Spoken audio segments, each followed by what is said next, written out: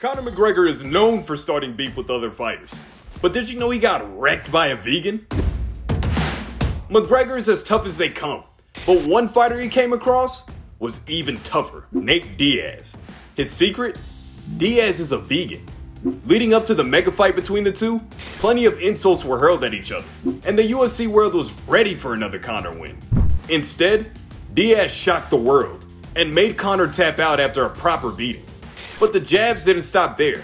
Afterwards, Diaz took to Twitter, proving that his plant based diet really works wonders. A diet that he started when he was 17, eliminating dairy to prepare for a fight. He never looked back. And he's not alone.